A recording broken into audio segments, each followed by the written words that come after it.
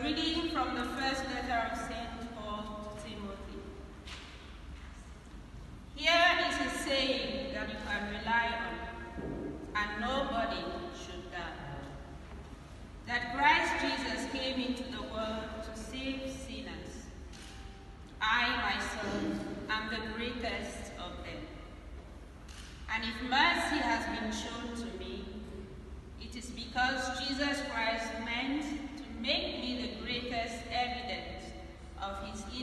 everlasting